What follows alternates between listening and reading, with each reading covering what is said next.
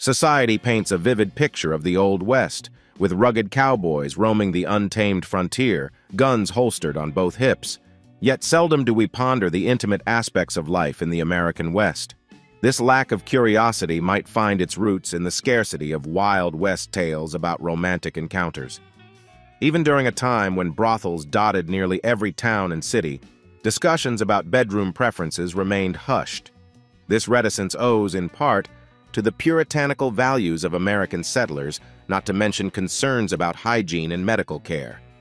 Nevertheless, despite the taboo nature of the topic, a handful of intriguing anecdotes about romantic liaisons in the Old West have survived.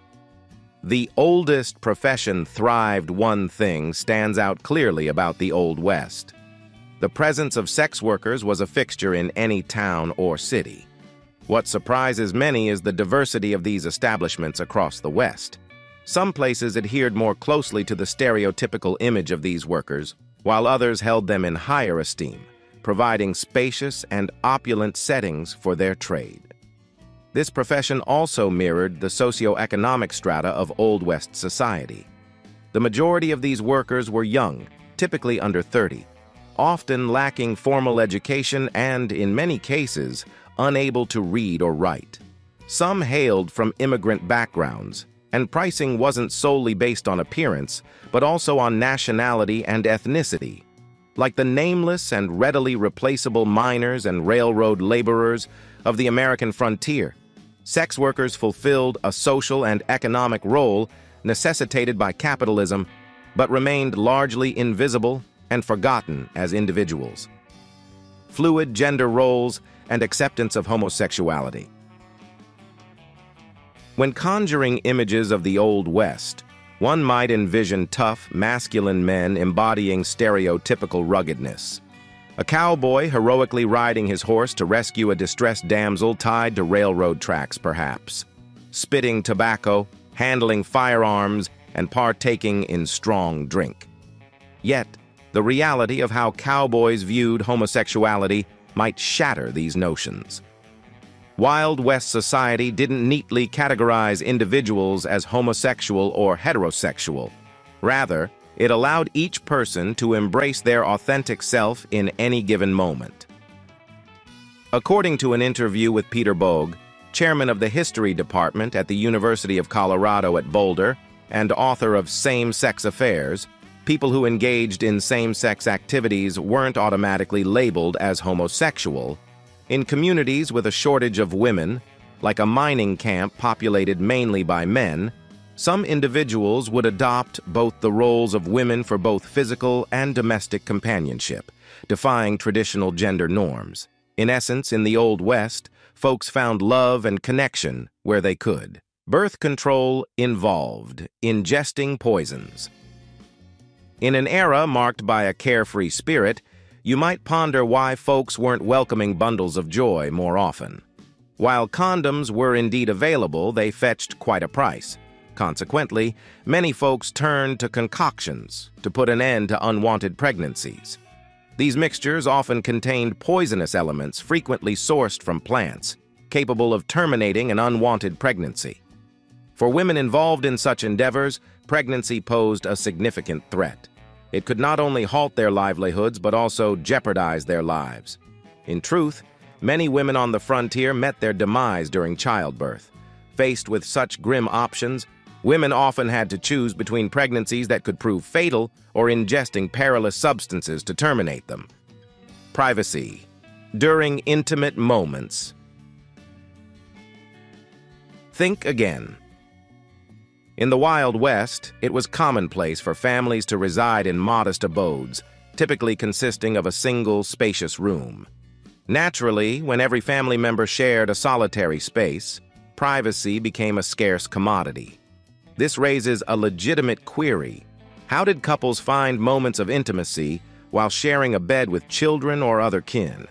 Delving into the evolution of privacy and the shift toward regarding adult intimacy as a personal matter in Europe, author Brian Watson elucidated that during the Reformation, figures such as Martin Luther ushered in a sense of sanctity surrounding private intimacy, a concept previously foreign.